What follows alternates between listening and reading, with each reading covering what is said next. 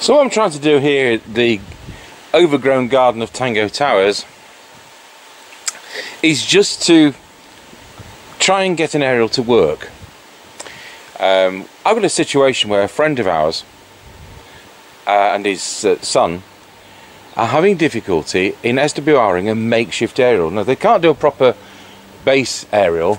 Uh, we've, you know, we've got. Uh, let's move the camera around. Outside here, we have got that on the side of the building, which is a silver rod type of thing, and it goes to our little shed, which is a CB radio in, just for anybody to call if they so need to do so in an unlocked shed. So that works for 35 miles. We know it works for 35 miles in the Nottingham direction, which is our best direction. Um, and no doubt it would work actually better than the one we use for the scratchy corner tests. It's a little bit higher and it's got a thick cable on it. But what we need to do is to kind of push a, a mobile whip into service on a pole in the garden. Now he's got a clothes post. So I've just put in a six foot mast section. There's about nine inches of that hammered into the ground with my handy lump hammer, protecting the top with a piece of wood, of course, so we don't ruin it for it's a swage pole for other purposes. On that crate, which looks like a tea chest, but it isn't, we put organ pipes in these things. Um, I have got a biscuit tin lid. What he's got is a mirror mount which he has screwed or clamped or whatever to his pole. And we're just going to use, I, would previously done a demonstration at one of the radio clubs with a, a biscuit tin um, and what we're going to do is we're just going to bend that so it becomes a right angle bracket and I'm just trying to press into service stuff we've got. So we'll screw that to that pole and that's what I'll do right now. So that's where we are with our bodge at the moment. We've got the mount and at the bottom of the pole I've just connected this piece of earth wire which came in a batch of junk and all it is is a self-tapping screw I've put a I did actually solder a uh, eyelet on there and this hunk of wire I'm just going to pace out nine feet and chuck it behind me so next I've dug out a second-hand Les Wallen modulator aerial and we've mounted that on our precarious biscuit tin arrangement.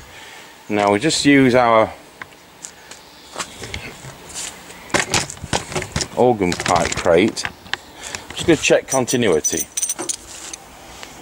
This meter is an overkill and is frustratingly so. You've got to put it into ohms and select different mode.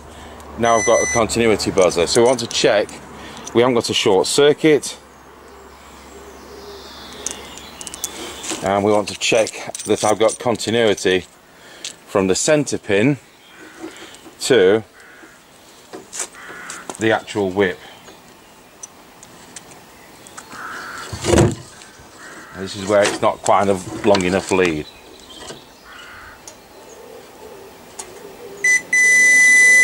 and there we have so we've got continuity.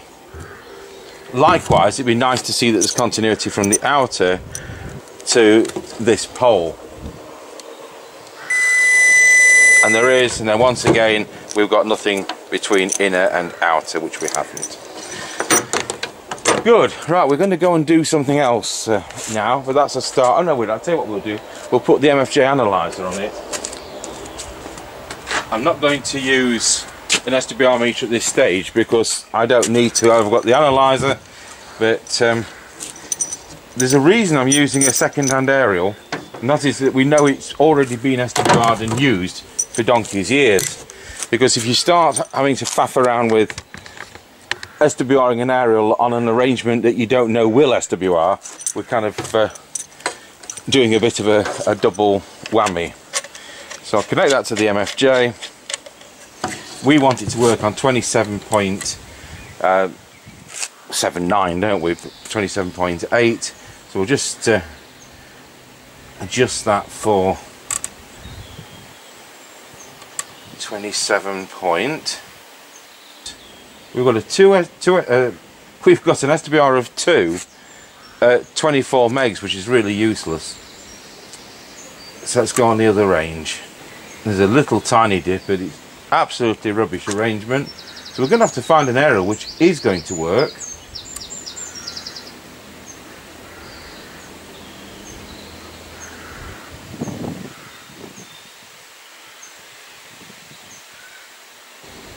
Ultimately, of course, we could use an antenna matcher. So after we've come back, we'll see if we can find something else. You can see what I'm trying to do. We know that that is good. But I think probably the best thing to do is to put it on a mag mount on a car. There's a, a car we don't use in the yard here, which I'm using as a shed. So if we stick a, a mag mount on that and see whether it's SWRs as a car aerial, we'll then know that the aerial's okay before worrying about the arrangement we've got here. So in my driveway I have this car that I've not been using for donkey's years which is ideal for SWRing, we're using it as a shed, aerials on. So I've just plonked on this, um, our mystery benefactor Alan very kindly sent me this, what looks to be a new aerial and mag mount, it's a 3 8 stud type mag mount.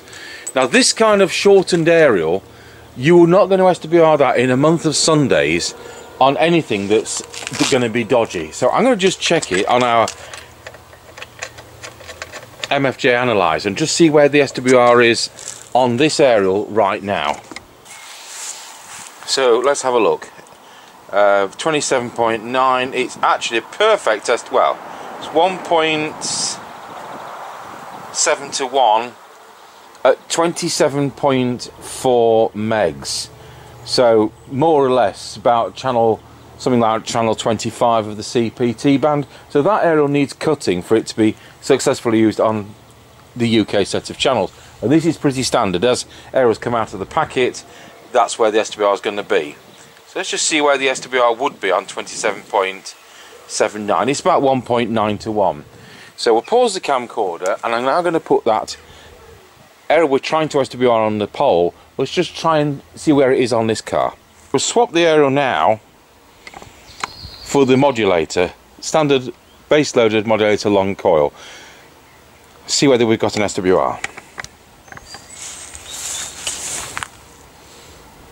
Now it's waggling all over the place. I think it's got an intermittent loading coil.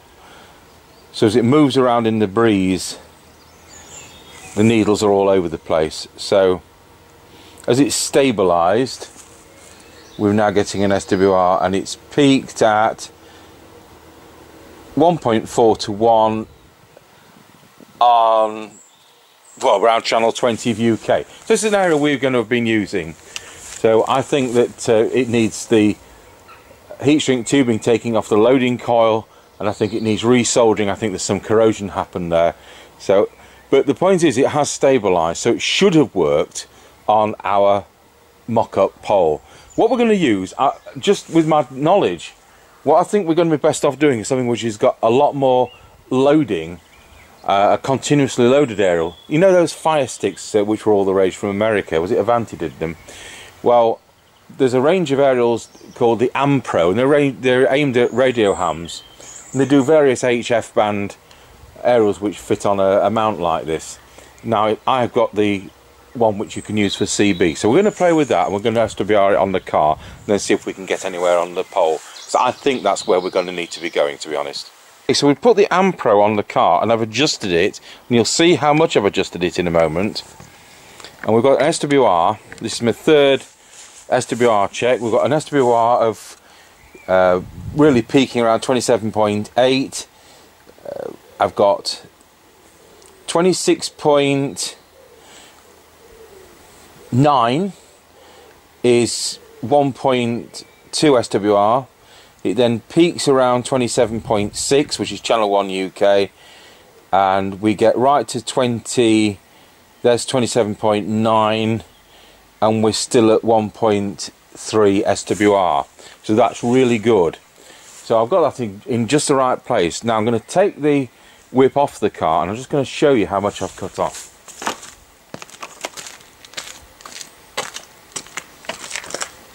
So that is the top bit. That's where it's starting to go inside the coil. So we've got 14 inches as I'm going to cut off that. So I'm just going to get the angle grinder to that. I'm going to cut that off, discard it, and then we'll screw it back in and see how it works out then you don't want this going inside the coil it's going to affect things and if uh, if it was being used if this was the 28 meg you're using it on ham and doing more than 4 watts it's possible it's going to get an overheat so to use the Ampro which we've now cut that bit off to use the Ampro we've cut it off absolutely lovely SWR so I'm going to now take that off the mag mount and we'll see whether it works on our jerry rig pole well, I've never done a scratchy corner test like this. So we're on a 12 volt battery here in the garden at Tango Towers. Um, I've got the SWR meter and matcher, but with that particular one, I couldn't get it under 2.8, which is probably okay. But I decided I'd use the MFJ matcher, uh, matcher which we use on some of the ham gear. I got a homemade auto matcher, which was AliExpress kit for about 12 quid. But the trouble is, it's 10 watts minimum input, so that's not going to help on CB. So we've got the Binatone Route 66, which I serviced a few weeks ago, which is one Alan kindly gave me. I'm using the um, battery which Alan kindly gave me. So uh, a, there's a lot of Alan in here. So Mr. Chippy should be out there. I'm expecting, I'd like four miles range. With this kind of lash up, that's what I'm hoping for. So it would be nice to get Scratchy Corner, but we might not get Scratchy Corner, but he might come out at the other end. So we'll see what happens. Um, this is what happens when you do these type of things. Tango 21 test.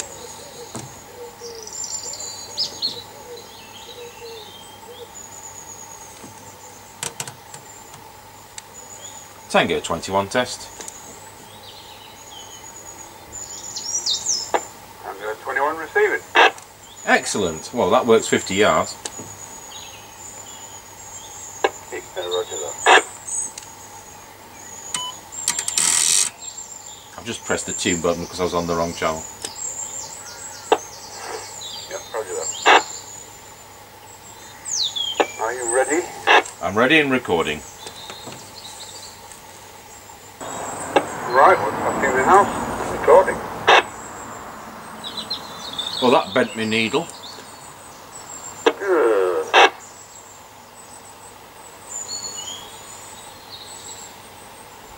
So we're not testing a radio, we're testing a Mickey Mouse antenna lash up today, over. Yeah, you're already getting a bit scratchy. Well, that's half a mile. Yeah, roger that. Right, we're coming up to the end of the line. Roger got you the end of the line.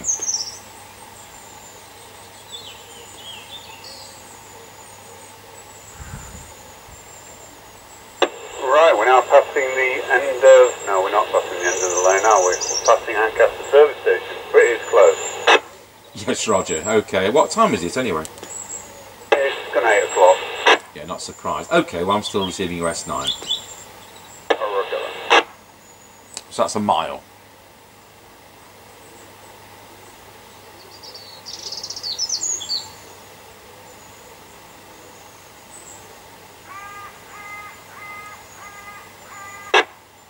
Right, we're now passing through Ancaster Crossroads. Roger on that. No problem. Roger, you're probably buried between S7 and S9 at the minute. And you're going to give you a solid 9. Roger.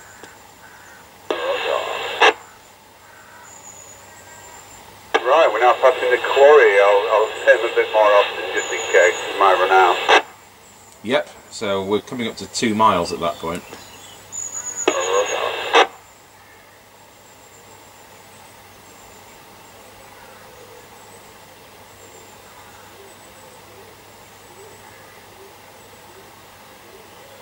Right, we're now passing the top of the hill. Let's go down in towards Wilsford. Over. Roger got you at the top of the hill. Roger.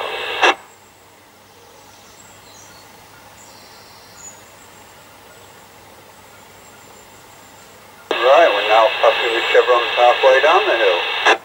Roger got you halfway down the hill, S7 over.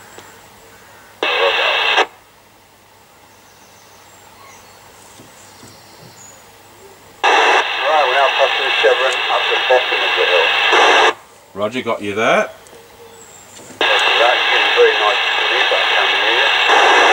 Roger on that.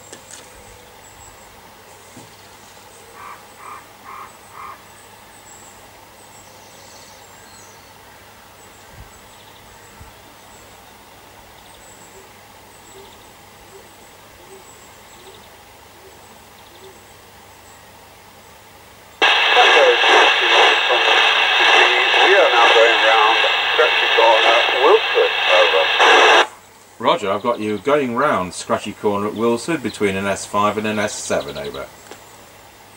Yep, roger that. You know it to can tell what you're saying. Uh, probably bearing S3 and S5. Roger on that, I wasn't expecting the Scratchy Corner to work. Roger, well it is. Good.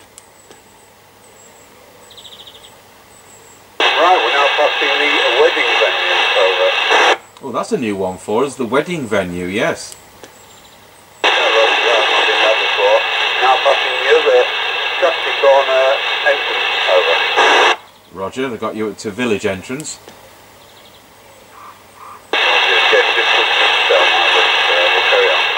Roger, carry on. Yeah.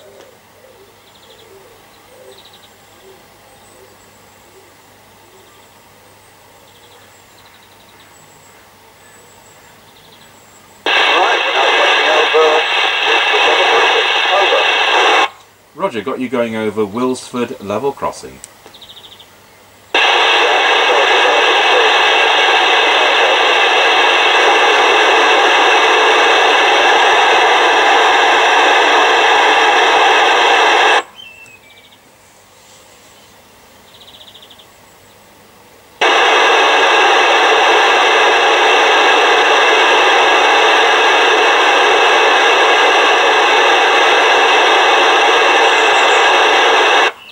21, Mr. Chippy.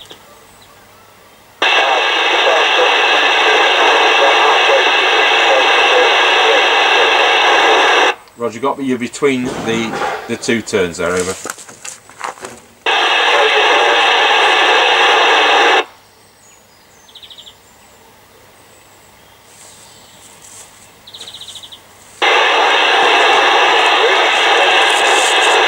Roger, got you at the Greylees turn. If you go to the um, pull up point over.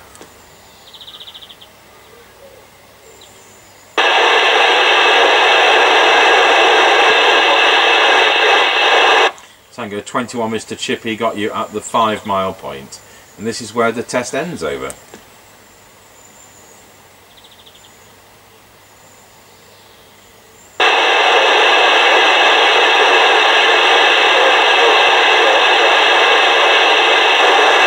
Right, I can't read you now, I can't read you. I know you're there but I can't read you. So that's where the test ends over.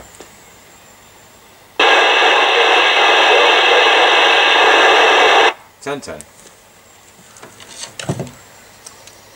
Okay, so the conclusion is bearing in mind this is our worst direction, he's gone the wrong side of the hill. So once he dropped down to Scratchy Corner, I honestly didn't expect to receive him. But we did receive him at Scratchy Corner, so he's at the wrong side of the hill.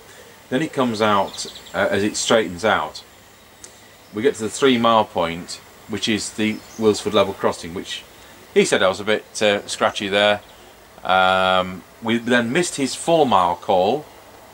We, heard him four and a half miles between the two points. Then we heard him at the Rauceby point, which is the five mile point. Then he pulls over and turns off. I knew he was there, but I couldn't read him. So there we go. So you know, if you're, um, and I've picked a set at random, but there's nothing wrong with this kind of set in this kind of location. I could have pulled out a Fidelity 1000 and got the same thing. We're running on a 12 volt battery, so the power will be a little bit lower on transmit, but it really, it, really doesn't matter. We're trying to make a lash up of an aerial, and it's kind of worked for, well, it worked all right for three and a half miles, and then we ran out, but we're in our wrong direction. So it does get you out of a situation. But if there's any way you can ever mount a proper aerial on a building, um, then it's obviously going to work better. So back to what we've done.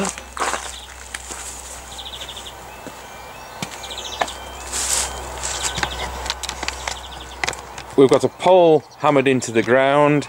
Mounted on the pole, we've got that biscuit tin because I haven't got any other kind of bracket with a 3/8 stud base on it. It is earth to the pole, and then we've got an Ampro 11 meter aerial, which has been SWR'd already on the car, and I chopped about 14 inches off that. And then at the bottom there, we've got a counterpoise wire, and it's just disappearing off in one direction. Perhaps it would work better with with two or three radial counterpoise wires, but there you go these are all things which can be experimented with but I just wanted to see could we do it? So SWR we could not get down and so we used the matcher unfortunately our Jesan matcher uh, either isn't playing ball or, or whatever but the uh, MFJ matcher has been no problem whatsoever. So I would have preferred to have an SWR without using a matcher because of course you're losing power with a matcher so there we are. It works. It gets you out of a thing in an emergency situation. And for those people who've got witches as neighbours who would uh, who would call planning permission onto you, who would, uh, if you even thought about having anything attached to your house, well, it does also get you on the air. So yeah, three to four miles range, and I, and I think you've had it.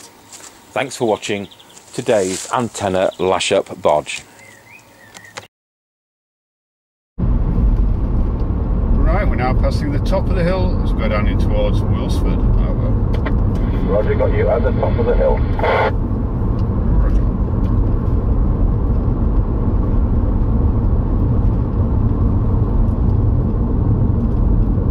Right, we're now passing the chevrons halfway down the hill.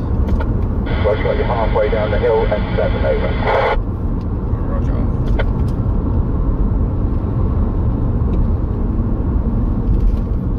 Right, we're now passing the chevron at the bottom of the hill. Roger, that. You're getting very noisy to me, but I can hear you. Roger on that.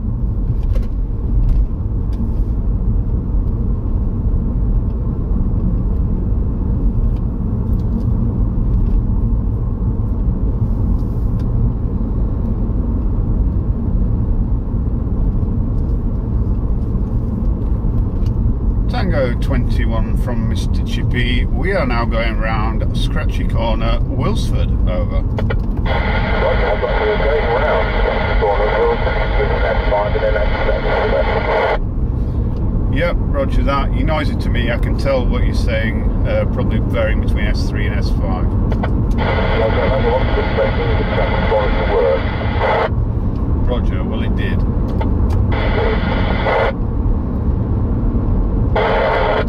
Right, we're now passing the wedding venue. Over. Yeah, roger that. I've not been there before. Now passing the other Scratchy Corner entrance. Over. Roger. It's getting difficult for me to tell now, but uh, we'll carry on.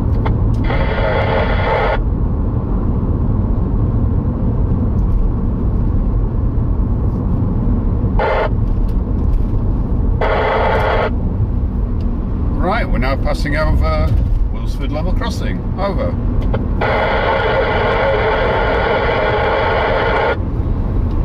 Yeah, I can tell you but it's very difficult for me to make out what you're saying now.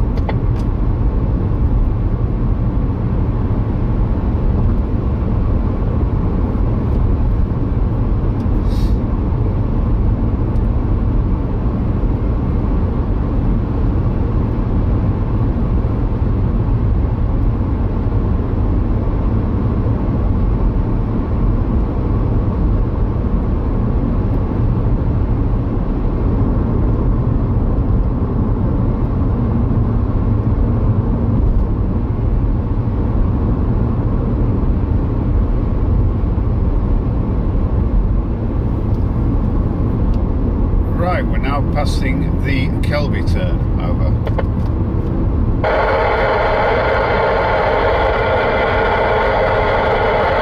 Tango 21 from Mr. Chippy. Are you receiving now?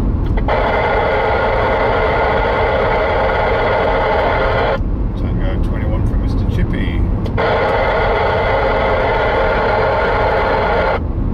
Yeah, I think that's all, folks.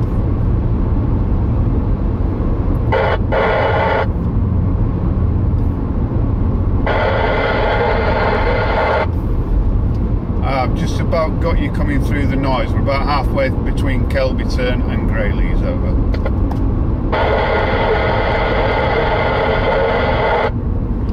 I can tell you there, but I can't hear what you're saying.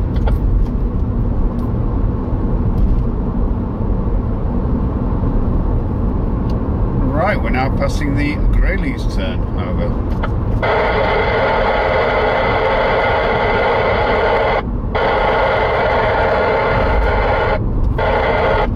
You did come through the squelch, but again, you probably said Greylees turn, who